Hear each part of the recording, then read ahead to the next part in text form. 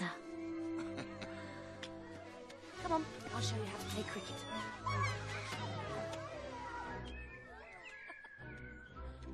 Hey, hey, here's a thought. Why don't we get an egg and start our own chicken farm? That way we'll have all the eggs we could eat. Right. We'll need a chicken then. No, no, we need an egg.